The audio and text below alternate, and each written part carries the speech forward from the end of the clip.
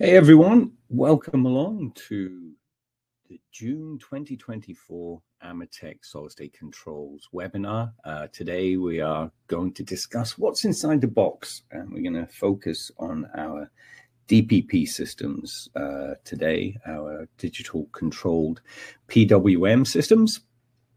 Um, Thank you, everybody, for joining us. Um, as always, if you can put in the chat bar if you can hear me or not, that would be greatly appreciated. Um, it seems pointless that I speak to myself. so if you can't hear me, um, I will be able to see that by people not posting in the chat bar. So while I await um, people arriving and saying that they can hear me or not, I'll do some introductions. So first of all, my name is Craig Williams. I am the Senior Technical Manager for AMETEK Solid State Controls. Uh, oh, thank you very much, everybody, for saying you can hear me loud and clear. Um, I'm based in the Stafford, Texas office, which is uh, just outside of Houston on the southwest side. Um, I have 22 years in the industrial UPS industry. Um, I think seven of those years. I think I'm into my eighth year with AMETEK Solid State Controls. Um, I've worked with all of the major UPS charger manufacturers over those 22 years. Um, originally in the North Sea, uh, off the coast of Scotland, um, went all over the uh, the North Sea, hopping from oil rig to oil rig. Um, so that was fun there will be a lag of around 30 seconds between you hearing my voice and me seeing a question. Basically, the platform we use is Webinar Jam, and um, they've got to process the signal, send it out to um, Android devices, Apple devices, and obviously Microsoft devices as well. So there is some processing time in getting that signal out, and it takes between 15 and 30 seconds. So when I speak, you will hear it probably 15 seconds later, and therefore I'll only see a question 15 seconds after um, it gets typed in. And for that reason, what I tend to do is always wait until the end to answer questions. And if I can ask you a favor, uh, if you if you look on your chat bar, there is a chat tab and there is a Q&A tab. If you have a question, if you could please click on the Q&A tab and put the question in there, it separates uh, the questions from the chat. So that would be appreciated. Okay. Um, Webinar Jam, the platform that we use, does have a panic button. If for some reason I start to see um, something in the chat bar that says I can't hear you, or the signal is you can't see the presentation, or something like that, then I can uh, press the panic button, and what will happen is a new room will be created. Everyone will be invited to that room, and then we will carry on from where we left off. So uh, that's how that works. Another very popular question is Is the webinar going to be recorded?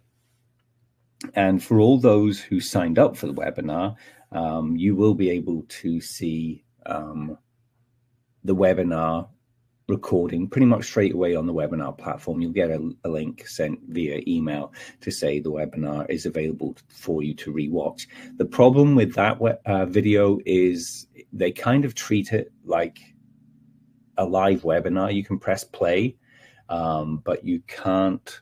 From what I can recall, you can't fast forward, rewind, and go to specific parts of the presentation. Um, so, what our fantastic marketing team do, and London has posted it in the chat bar already, is they create a MP4, I think it is, I can't remember what file, and then basically they upload it to our YouTube channel um, where you can see all of the previous um, webinars that we've done as well.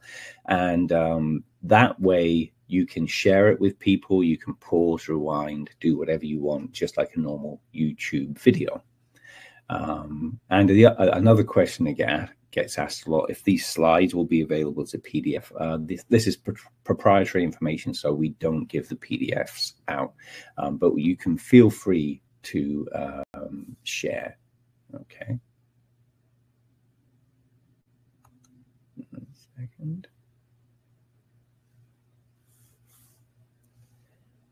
And the last thing, the webinar should last, ooh, around about 45 minutes to an hour, and it depends on how long I uh, waffle on for, basically.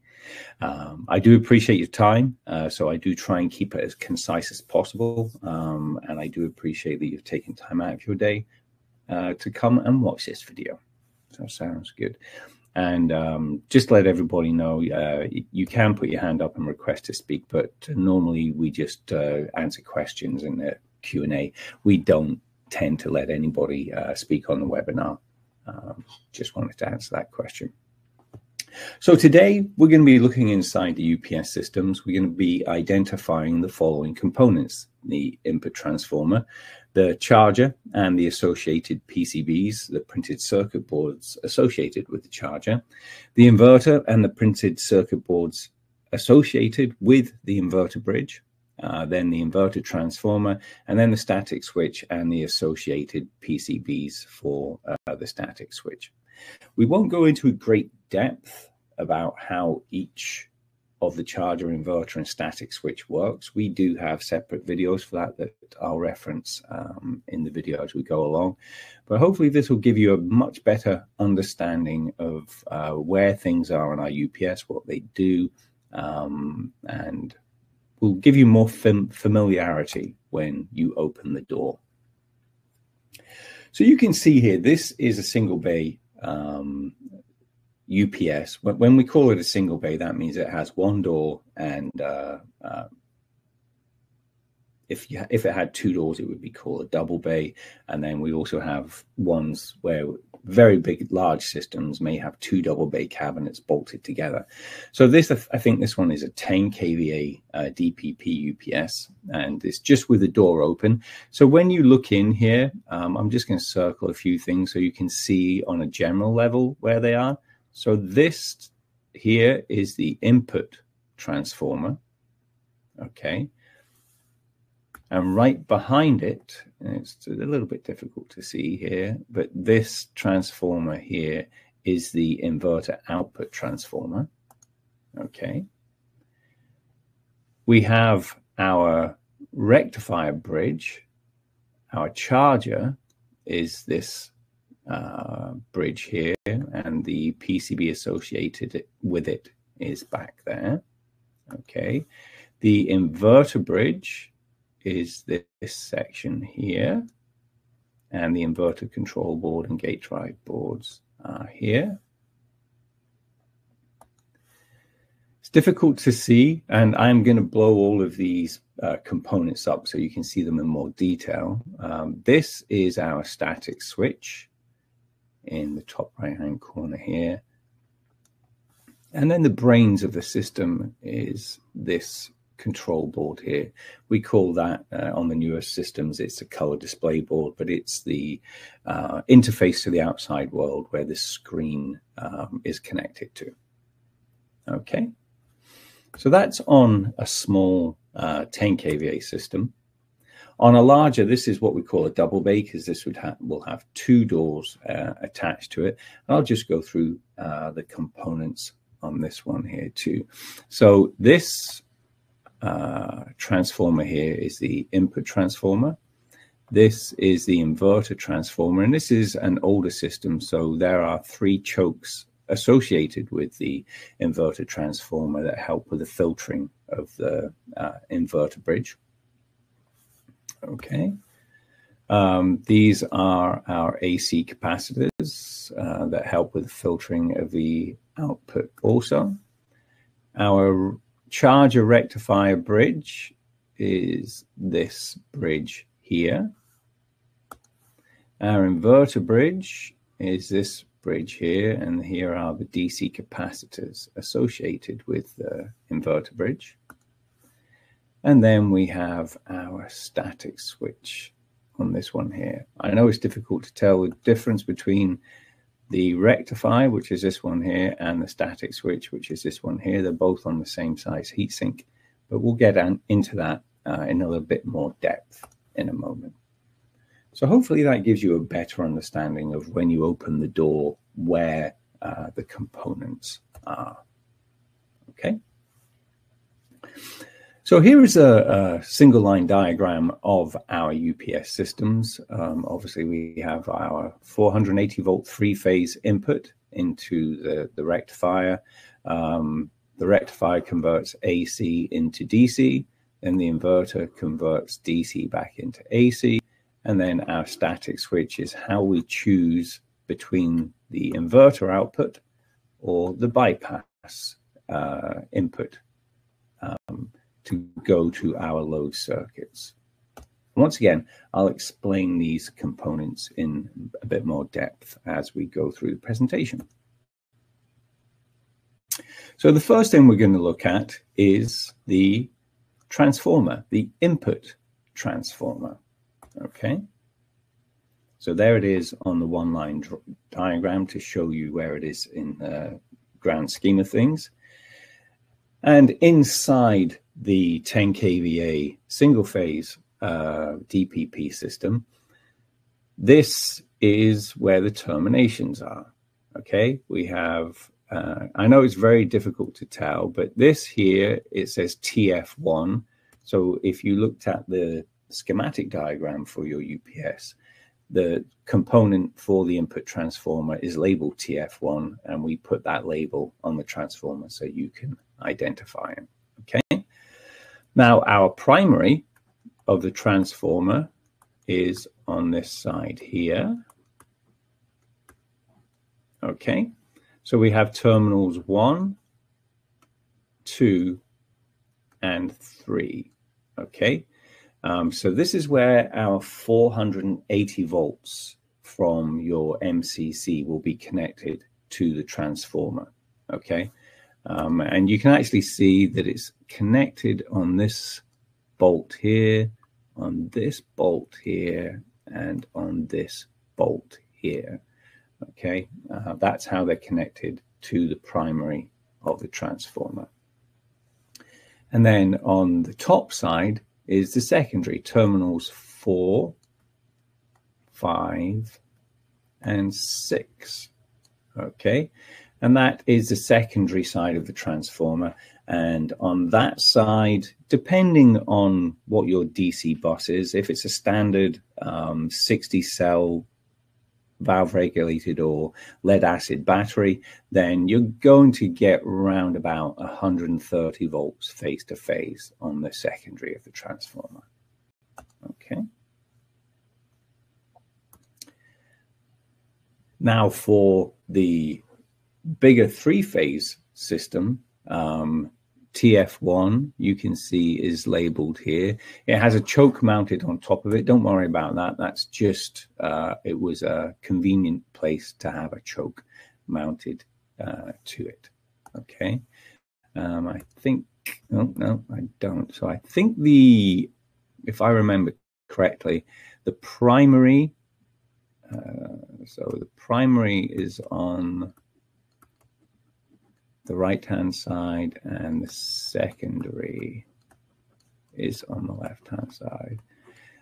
And basically, a, a, general rule of thumb is the larger the, the cable connected will give you a good idea of which is a primary and secondary because as the voltage gets stepped down, then the current is going to go up on the secondary. So you're always going to see larger cables because it's going to carry more current on the secondary than the cables going to the primary.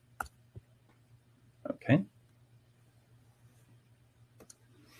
Now, there are two main reasons to have an isolation transformer on the input to your UPS. Okay.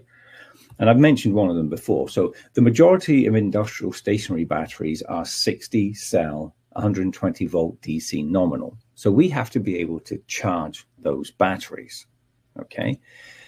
Um, and for power and efficiency, most industrial UPS manufacturers use 480 volts three phase inputs to um, from the MCC to their charger. Um, it just makes more sense. So therefore, the input transformer steps the voltage down to a value that allows us to charge the batteries with a little bit of wiggle room. We call it headroom. Okay. So basically you can see here on the left-hand side, we've got the primary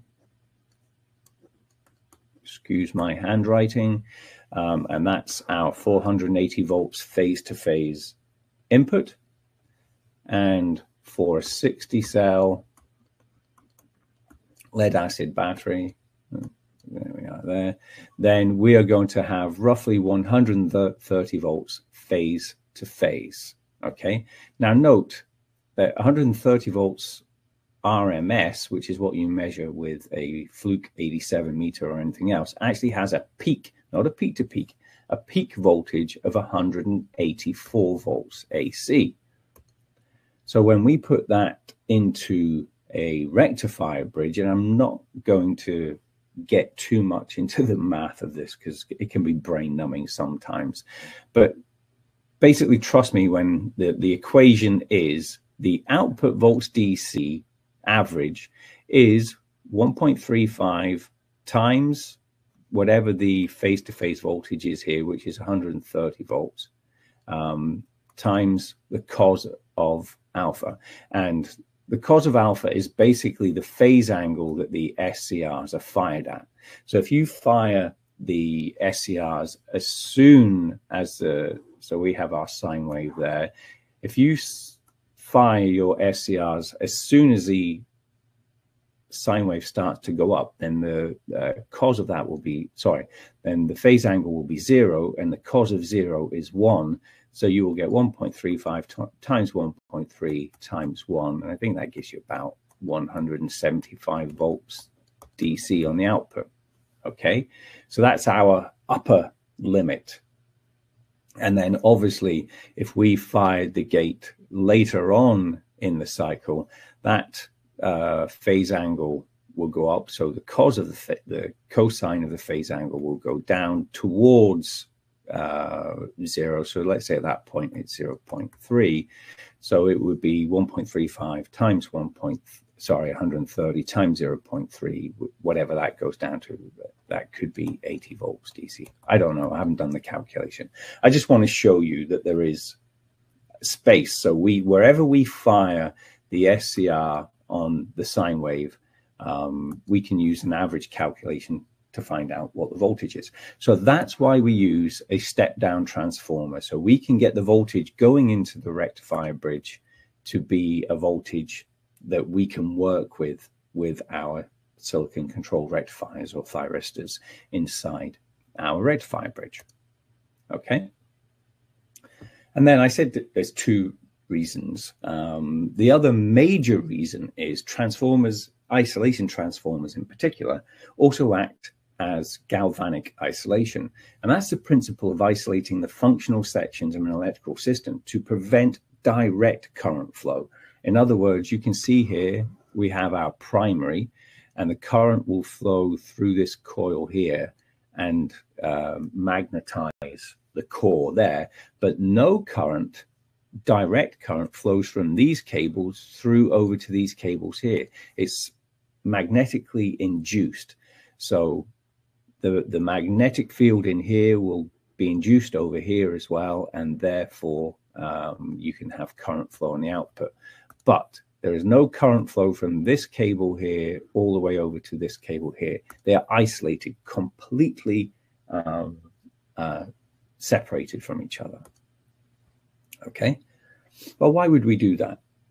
There's a couple of reasons, but the, the main reason is um, to make the inside of our system floating. So on most systems, uh, AC systems, let's say this is 120 volts AC, it's your house, the neutral will be connected to ground um, at your input connection into your house. Okay, so the, the utility company will connect the neutral directly to ground. Okay. But if you put a transformer in there, you can see that the secondary, if this was a one to one transformer, it's not a step down. We have just created a separately derived source. In other words, we have 120 volts um, between the two wires, but there is no connection to ground here. Okay. So we have given an isolation um, from that ground connection, which can be quite convenient for what we need uh, to do. We'll go into this a little bit further. So if you measured from this point here, which is your hot for your 120 volts, down to a grounding terminal anywhere in your house or a ground pin in your socket, you will measure 120 volts. Okay. Now, yes, if you go between your hot and your neutral on the output of a transformer, you will get 120 volts. That is correct. But remember, there's no connection to ground here. So if you went between hot and any ground connector on your house on the secondary of an isolation transformer, there's going to be no reference. So there should be no voltage. Now, yes, there can be some stray capacitance and other things in the cables that could give a ghost potential um, if you measured it with a, a very high impedance voltmeter but there is actually no direct connection and therefore like if you connected a light bulb from hot to neutral um, on the input yes the light bulb would light okay? But if you connected a light bulb from hot to ground on the secondary the light bulb would not light. There is no current path. There is no connection to ground so it would not light. And what that allows us to do is um, if we added a rectifier, so AC in, DC out to the output of this system. Therefore, when we connect a battery to the output of that rectifier, there is no reference to ground um, within our system. So therefore, if somebody goes to work on the battery, takes measurements or wants to clean some terminals or something like that, um, it's very difficult for that worker to get an electrical shock when you have an, uh, an isolation transformer because there is no direct connection down to ground. Okay. Now, obviously, yes, if they went from the positive, the full positive to the full negative of the DC battery, they could uh, subject themselves to an electric shock. But from any um, any post of the battery down to ground, they would not uh, get an electric shock. And also a transformer blocks DC. So if you don't know about the design of a transformer, DC cannot pass through a transformer. You've got to build up and then collapse the field. And that's what AC does. And then that gets um, magnetically induced to the secondary. If you just put DC into the primary of the transformer, then it will saturate the transformer and um, it blocks that DC from getting through to the to the other side to the secondary of the transformer. So in truth, if you had a fault within your rectifier bridge and the DC was allowed to short circuit to the secondary, it cannot get from the secondary to the primary and impose DC onto your MCC, onto your 480 volts. It's impossible. It also reduces ground loops um, because of the isolation from ground and it also attenuates noise. So they're all the reasons why we use an isolation transformer. Okay. So now we're going to talk about the battery charger rectifier. You can see it highlighted here in the single line drawing. And this is inside our 10 kVA UPS again. Now, this is going to be very simplistic, but this is actually how it works. So we have our three phases going in. So I'm going to call it A phase, B phase, and C phase. Okay. That's going in. So if you measured between this bus bar here and this bus bar here, if you had a 120 volt nominal battery, you're going to measure about 130 volts AC phase to phase. Okay, so once again, A, B, C, that is our input to the rectifier bridge. Okay, and then it's as simple as this. We have two bus bars here on the output of our rectifier bridge. One is negative and one is positive. And these black modules back here, they are our SCR packs. Okay. So it is quite simple. We have AC going into the bridge and we have DC coming out of the bridge. that is how our rectifier works. And it's this control board here. This is PCB1. There's a sticker there that says PCB1. This is our rectifier charger interface board. Okay, so that's the brains that tells the SCRs when to fire. And also you can see it's a little bit hidden here, but this is uh, the gate drive board, which gives isolation between the printed circuit board here, which is a low voltage board, and obviously the gate drives to these SCRs on these terminals here, which is connected to 130 volts. So the gate drive board gives us isolation. So this board here does not see 130 volts. Okay. And also it gives a bit of oomph to the signal that we're sending to the SCRs to turn them on when we tell them to turn on. And then this aluminum back here, this is our heatsink. The SCRs are connected onto the heatsink. They're not electrically connected. It is just thermally connected. Uh, the base of the SCR um, is connected to the heatsink to dissipate heat in those SCRs. And then we have these fans on top that pull air through the heatsink to keep the SCRs cool. So that is in our single phase system, and it's even easier to see on our uh, 30 kVA um, three phase system. And remember, when I say single phase and three phase, I'm talking about the output of the UPS. Our rectifier bridges are all the same. We use three phase in. So once again, we've got 130 volts AC going in through to this terminal here. So we've got 130 volts. That goes into the black SCR, which is mounted here. And then once again, we have positive and negative coming out. This one here is our negative, and this one here is our positive. Okay, so AC going in and DC coming out. Simple as that. And then once again, you can see these connections to the SCRs. That is the gate drive signal to the SCRs.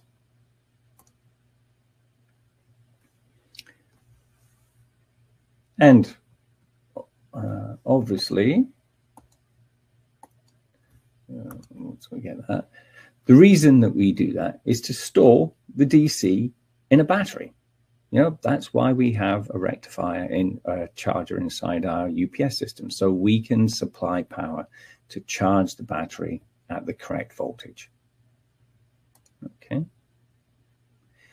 And if you want to know more about actually how the industrial charger works inside an Ametek SCI system, then you can go to our YouTube video library. And I created um, a video called Understanding DC Chargers and Rectifiers. And that explains in a lot more depth how the firing signals get sent to the SCRs, how the feedback circuit works. Uh, it's a lot more in depth. So if you want to find that, go to our YouTube site and uh, type in the search bar, understanding DC chargers and rectifiers. Now we're going to talk about the inverter, the part that's highlighted here. And obviously an inverter has DC on the input and then it converts it to AC on the output. Okay. And in our single phase DPP system. Our inverter bridge is behind this copper sheet here. That's a terrible circle. Let me draw it again.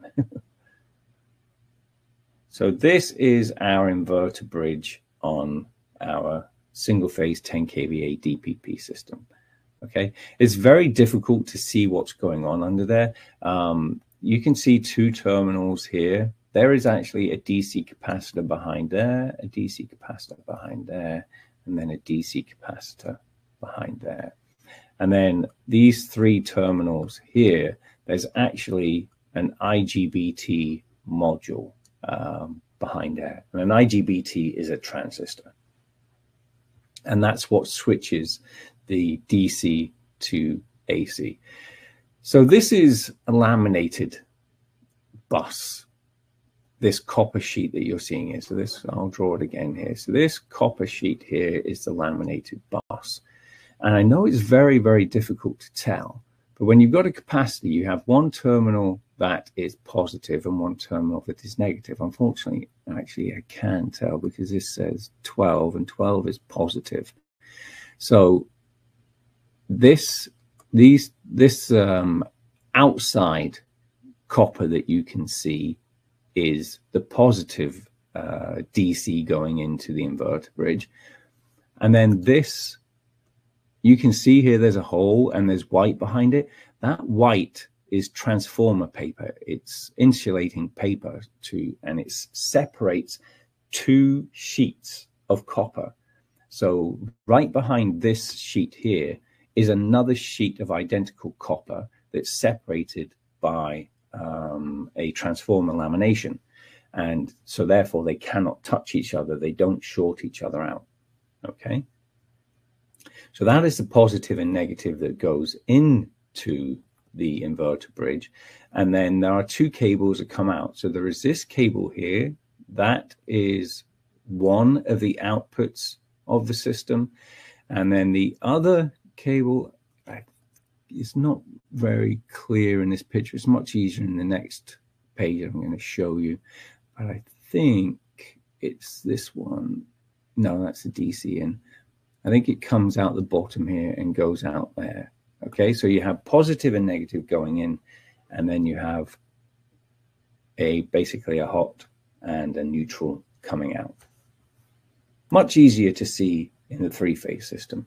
And this is the inverter control board, PCB3 and PCB3A. So this one here is PCB3, and the one that's mounted to it is PCB3A. We call that our UCB or our Universal Communication Board. Okay, and that's the uh, where the firing signals that go to the IGBTs are generated. That is what turns the inverter on and tells it what to do. Okay. And here's the three-phase bridge that I mentioned earlier. And it's much easier to see the laminations and the three phases on this one here.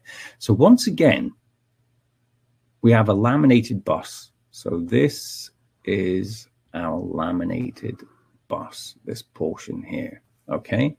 And you can see we have our DC capacitors here, okay? So this is our negative going in, and this top part is our positive. Okay, I just know that because this is 12, and from what I can remember, I think this is 13. So it would say minus 13, and it would say plus 12. Okay, and you can quite clearly see, so you see this bus bar going up here, and then it goes underneath this laminated uh, paper. Okay, and then you, you can see that on top of the laminated paper is the positive.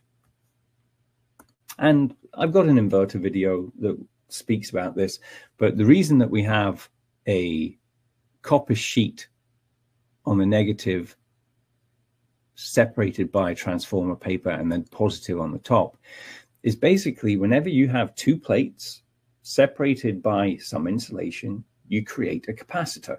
So not only do we have all of these capacitors here, but we also have this capacitor that is created by our laminated bus. And that creates more um, capacitance and reduces the equivalent surf, uh, uh, the equivalent inductance of the inverter bridge because inverter bridges don't like inductance. So the more capacitance, the more oomph we can give behind and the less uh, cable that we use and we use copper bus, then the equivalent series inductance goes down.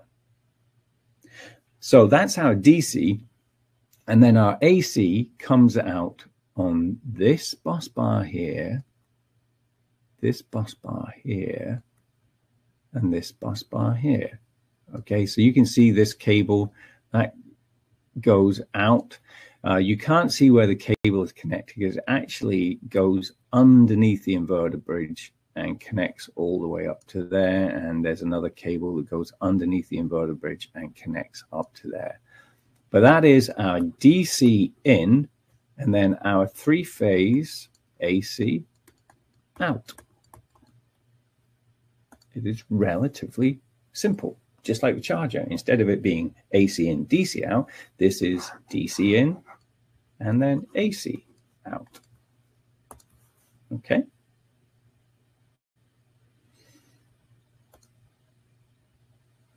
And then this is for a three-phase system. This is the um, inverter board here. This is the inverter board, the PCB3 that we mentioned on the last page. But this actually that lets you see the gate drive boards for each phase. So we also have gate drive boards. So this PCB3 creates the signals for the IGBTs, and then the gate drive boards takes that signal, uh, basically amplifies it and gives it isolation, and then sends it over to the IGBTs. Actually, that's one thing I didn't show you on this last picture here. Uh, these are snubber capacitors, but behind these terminals here, you can see you can see the white module here, and it actually goes all the way back here, back here. So there's one IGBT module there, one IGBT module there, and one IGBT module there. And that's the same for each of the phases. So basically, the way that our systems work is for 10 kVA, we'll use one IGBT, and for every 10 kVA above that, we will put um, another IGBT pack in parallel. Okay, so there's, let's just say this is A phase, B phase, C phase. Then we can say that this is 10 kVA, 10 kVA, and 10 kVA. So we get 30 kVA out of this system. Okay.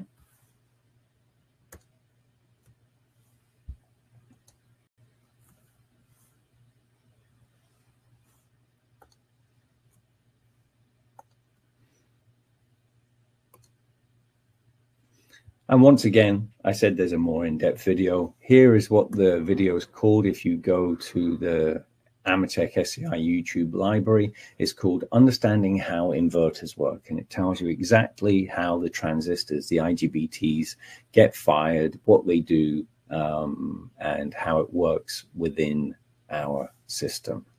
Um, so hopefully, if you have time, you can go and check that video out at your leisure. The next component we're going to talk about is on the single line diagram, the inverter output transformer. Okay. So this is on our 10 kVA single phase system. Once again, you can see I've circled here. It's very difficult to say to tell on your screen, but it does say TF2. So this transformer here was TF1 so now we have TF2, that is the inverter transformer. And the primary is at the back. You can see here, primary and the arrows pointing to this terminal here and this terminal here. And the secondary is connected to this terminal here and this terminal here. Okay. And I know it's difficult to tell, so I got a better view for you. So once again, our primary is this terminal here and this terminal behind the wire 16. You can see the copper bus bar that it's connected to here. And then our secondary is connected to this terminal here and this terminal here. Now secondary basically is the output of the inverter. It will be 120 volts AC, 60 hertz in North America, perfect sinusoidal waveform. Okay. And the input on the primary is a pulse width modulated signal. And I'll show you that in a on a screen in just a moment. And then for our three-phase system, once again, you can see TF2 here. And instead of just having a hot and a neutral, now we have three phases. So our primary is on the left-hand side, okay?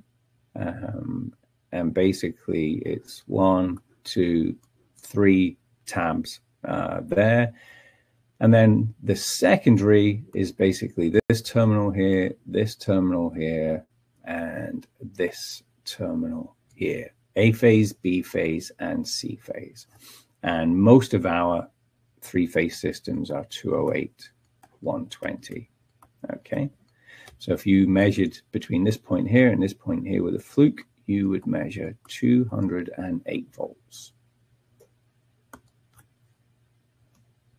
And once again, it's an isolation transformer, so it gives us isolation. So if there was a fault in the inverter bridge for some bizarre reason and DC got onto the primary of the transformer, because of the isolation, that DC would not be allowed to propagate propagate sorry onto the secondary terminals and you would not get DC going to um, your output circuits, which could damage um, pieces of equipment and, and, cause a whole load of, of issues.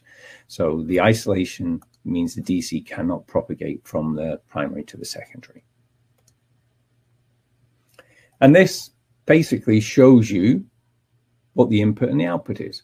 So this red waveform here and the blue waveform here is our PWM going into the primary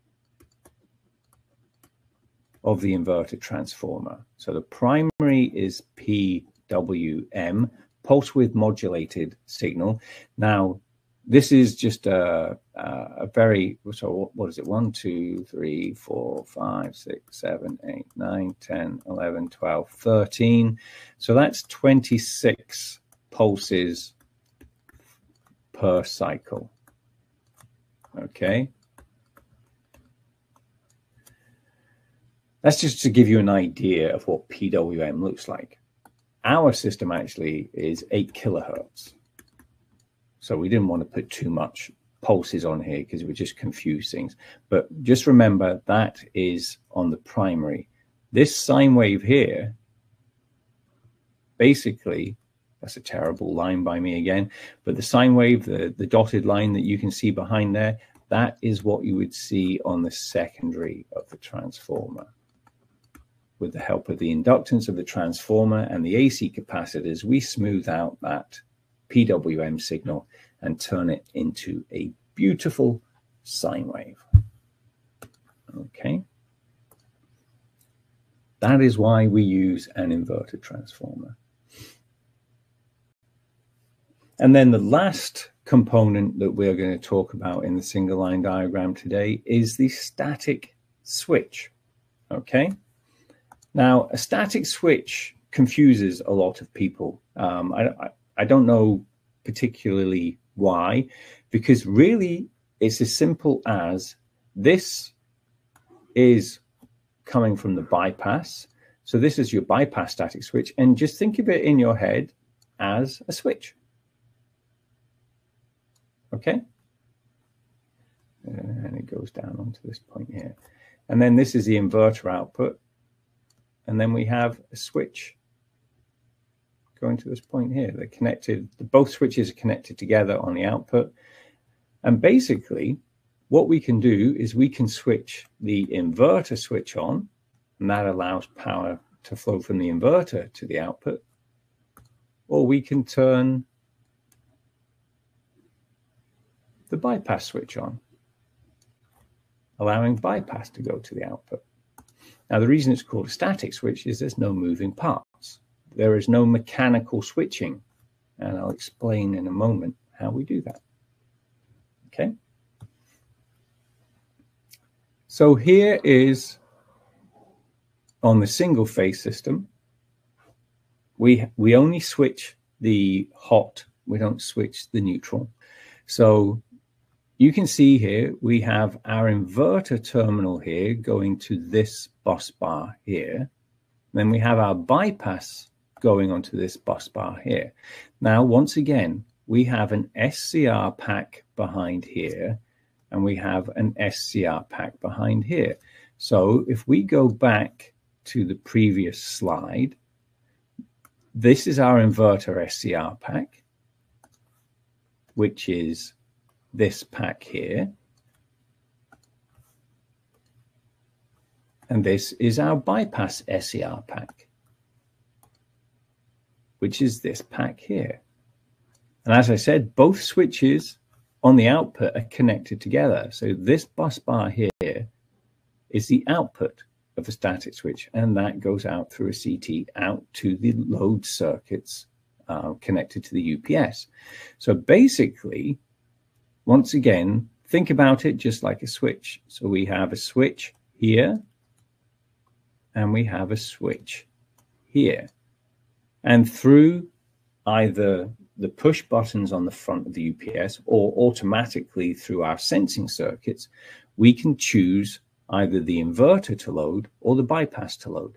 Now, what the UPS does as per its design, it does everything it can to try and keep the inverter on load at all times because that's connected to the DC bus and the battery and creates a beautiful sine wave and isolates you from any uh, sags or any power fluctuations on your bypass. So we always want to keep it on inverter as much as we possibly can. And it's only if something happened to the inverter and the inverter stopped working that we would say, okay, we need to switch this bypass switch on and allow bypass to flow through here and out through that cable there. Okay. But it is relatively as simple as that. We either tell the inverter static switch to be on or the bypass static switch to be on. And then whenever we transfer between the two, it's a seamless transfer and I'll just explain why. Because if you have a sine wave, SCRs do not switch off um, by removing a gate signal. SCRs will only switch off at the zero crossing point of a sine wave. So basically, if you if you are on inverter at this point here, and then at this point here, you want to transfer to bypass. So from this point here, we're going to bypass what happens is both the inverter static switch and the bypass static switch will be on at the same time until we get to this zero crossing point and then after that we will be on bypass only so it is always going to be a make before break transfer so it's nearly impossible unless there's an issue with the scrs themselves uh, to have a a transfer between inverter and bypass that causes a blip on the load. Um, that's the design of a static switch. And for a three-phase system, a little bit more complicated, but you can see once again, we have our inverter A phase, B phase, and C phase going in, and then we have a static switch. So basically we have an A phase static switch, a B phase static switch, and a C phase static switch. And they all get the, the same gate drive signal sent to them at the same time. But basically, we can choose if we had the inverter to load push button pressed, then we would be connected there, there, and there. So therefore, the inverter would flow out through here, out that cable to the load. It would flow through this cable out to the load and through this cable out to the load. Okay. And if you press the bypass to load push button, then bypass would come in here. You would switch that on and it would go out through the same cable out to your load circuits. It really is as simple as that.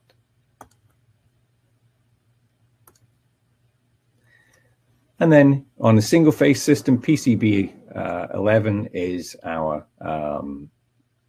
inverter, sorry, our static switch gate drive board. There's actually two LEDs that it tells you um, if an SCR has failed and inverter to load uh, LED there as well. Okay. Um, but that's the interface between the inverter static switch control board and the inverter sorry, the static switches themselves. Uh, remember, there's always isolation between the control board and the SCRs. So this is our inverted gate drive board. And there's the same for the three-phase system. Okay, you can tell there's one, two, three transformers there, isolation pulse transformers going to the SCRs. Okay, so that is the end of what goes inside our UPS systems. And hopefully that gives you more of an understanding when you open the door, what the components are um, and where you can find them. So let's have a look and see what questions we have been asked. And this is an ideal uh, situation. If you have any questions um, regarding this presentation or any other questions, you can type them in the Q&A chat bar now. So first of all, um, what would the effect of too much inductance be on the inverter bridge? That's a very good question, Elizabeth. Too much inductance on the inverter bridge, um, especially when you're switching transistors at uh, a high frequency, what you're doing is you're opening and closing a connection. And whenever you have inductance flowing through, um, sorry, current flowing through uh, an open and closed switch, and there is a higher inductance, it causes a back EMF. Basically, you're interrupting the current through an inductor. The inductor builds up a field and it's trying to push that keep the current the same. An inductor basically tries to keep the current the, the same flowing through it at all times through its mag uh, magnetic field. So basically, you will build up a high back EMF across the um, collector and emitter of the IGBT, and it could cause the IGBTs to fail. So that's why we try and keep the inductance as low as possible so we don't put an overvoltage back EMF strain uh, caused by the inductance um, and try not to block the IGBTs basically. Um, so hopefully that explains um, why we try and keep the inductance low, Elizabeth. Um, another question, what impact to the charge inverter would a DC arc fault at the batteries be? Um, good question, Isaac. Um, in truth, it's difficult to tell. Probably um, nothing, um, because you've got uh, you know the battery is usually separated by a length of cable. That cable has resistance and it has some capacitance in it. So if there was any kind of little uh, spike caused by the arc fault, I, I can't see it causing an issue uh, into the charger inverter bridge. Um, if it obviously if the arc fault was due to a short, then the charger is going to see that short as well because it's connected in parallel. But it will current limit itself and should protect itself um, from being damaged. Um, and you may see the DC bus drop if it is a direct short as well. Um, so the inverter may see that, but it would just transfer to bypass. Um, so th they're worst case scenarios um, um, if you have an arc fault on the battery, but I'd need to know more about what kind of arc fault, if it was a short circuit, what was going on. If you just dropped a wrench across the battery, basically the battery would just evaporate uh, the the connection between the positive and negative very quickly because the battery has so much current um, ready to give, um, and I can't see it affecting the UPS too much, to be honest, if the UPS is designed correctly.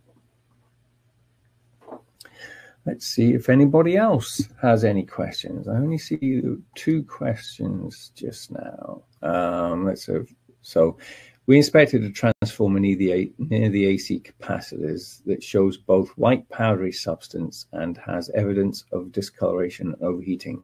Is this a concern? So that's from Ali. Um, I'm guessing that is on, that's not on a DPP system. That'll be on our older microfarad systems. We call them the SE range of systems. And they have a ferroresonant transformer in it. It's not a PWM system. Um, and if you see that there is white powder, uh, discoloration, and overheating, then is it a concern? I would say it's something you need to start worrying about um, and looking to maybe replace that transformer. The, the white powder is caused by the vibrations in the lamination of the ferroresonant transformer. And basically, it's the um, the varnish that covers all of the steel laminations within the core of that transformer. It, it's that varnish basically breaking down because the laminations are vibrating. So what you always tend to find when you you see that white powdery substance and the the, the transformer is heating up, then the noise from that transformer will tend to also go up because the vibration is getting worse. And it is basically a snowball effect. Eventually, it will just get worse and worse and worse. And um, m- most times when it fails, the insulation breaks down completely and it allows um, one of the power uh, whether it's this primary or the secondary, it will allow a path to ground eventually, and um, the system will transfer to bypass. Um, so I would say yes, contact Ametek, um, and uh, we can start looking into that for you. Um, here's a question, another question. Hopefully that explains um, uh, what you're seeing there, Ali. Um, Ernest is asking, is the UPS derated for altitudes above 5,000 feet? That's a very good question. I can't remember if I have. I don't think I do have a spec sheet with me. Uh, actually, I do for one of our older systems. Um, I don't know if it has anything about altitude. In truth, that would be one of our design engineers who would answer that question for you. I do not see anything. Oh, operating altitude. There we go, 10,000 feet. So we can go up to 10,000 feet without derating anything. So I'm glad I looked at that. Uh, So, Ernest, yes, above 5,000 feet, we are good. Above 10,000 feet, I'm guessing we do have to start derating.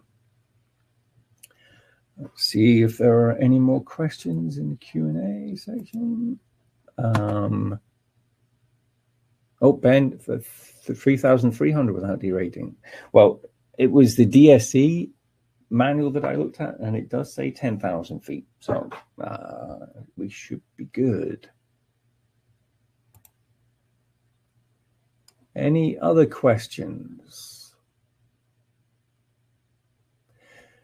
So while I wait to see if there's any more questions, um, I would like to say thank you very much, everybody, once again, um, for attending.